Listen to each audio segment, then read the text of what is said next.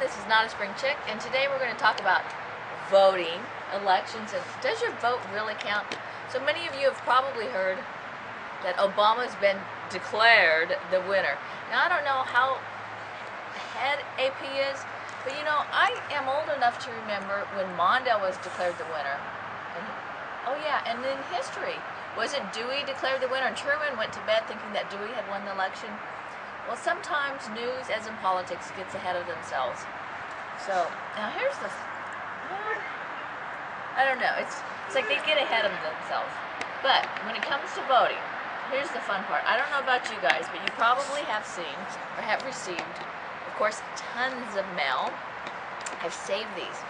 And you'll get to see how we do something constructive with them at the end. And you've received tons of phone calls. Now, my favorite phone call is when someone somebody called me up to see if I was going to support a candidate. Well, first of all, I didn't even know who the candidate was.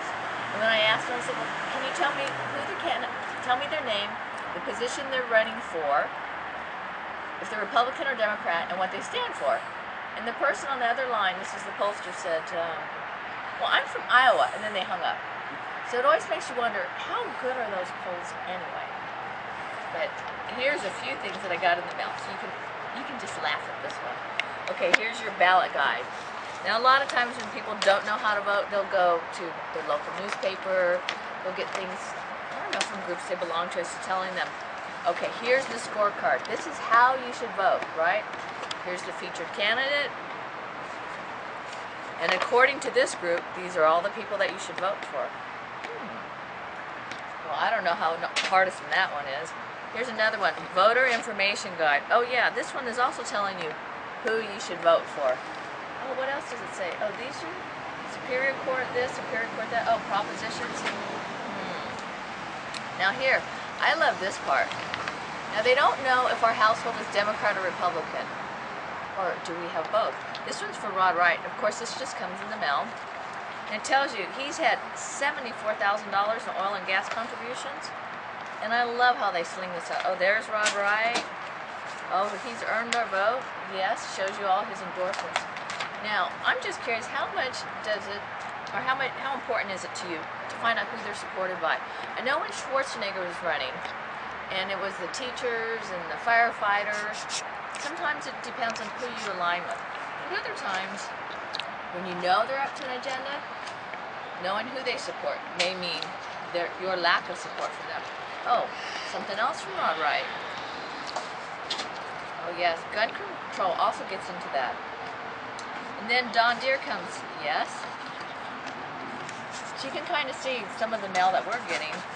Oh, and here's one, our local congresswoman. She's going to tell you who you should support. Hmm. There's also people that try to align themselves with other candidates. This one with Jay, well, JFK. This one also tells you who you should vote for. And here's the funny thing is, whether you're Republican or Democrat, I found out by going, going to the polls that if you're a registered Republican or you're a registered Democrat, in this primary, at least in California, you can vote nonpartisan Democrat or nonpartisan Republican. What is that? So apparently some of the parties have decided that even if you're Republican or Democrat, you can help determine who's going to win in their primary. I know, isn't that kind of strange? And of course you're supposed to have registered for that. Oh, here's one for Dymally. Oh yeah. As you can see, we're doing something very constructive. We're recycling it. Oh, don't make a mistake. Don't you love it when they tell you not to make a mistake? So I found out today I can vote in seven different languages. I could vote to determine the Democratic candidate, the Republican candidate, the Libertarian candidate, if they have one, the Green Party. I know. So why do you have a party anyway? Isn't that kind of interesting that parties will help you determine who their candidate is, even if you're not typically with their party? Oh, here's some more. You know, after a while, it just makes really good um, recycling paper. Oh, here's another one. So you could probably guess that, let's see, who is this? Rod Wright, Dymally. It's probably a pretty heated contestant because most of this junk mail is for these guys. And I love when you get to vote in a different language because, well, actually in seven different languages. There's English, Spanish, Chinese Cantonese, Chinese Mandarin, Japanese, let's see, Viet, uh, Vietnamese, Filipino.